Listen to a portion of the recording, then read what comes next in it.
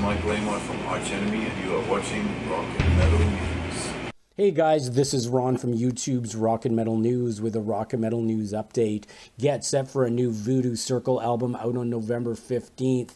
The German band Voodoo Circle will release their seventh studio album entitled Hail to the King, out through AFM Records.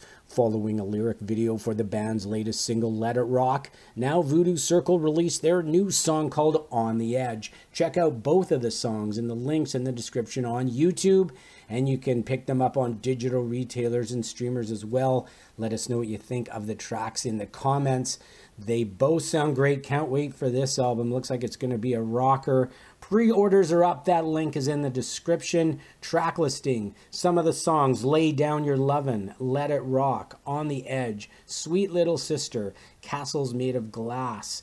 Stand Your Ground, Black Country, Billy's Song, and more. The full track list is in the description, and these guys sound great. They're kind of like a Whitesnake meets Led Zeppelin style, so let us know your thoughts. This is Ron from YouTube's Rock and Metal News. Thanks for tuning in.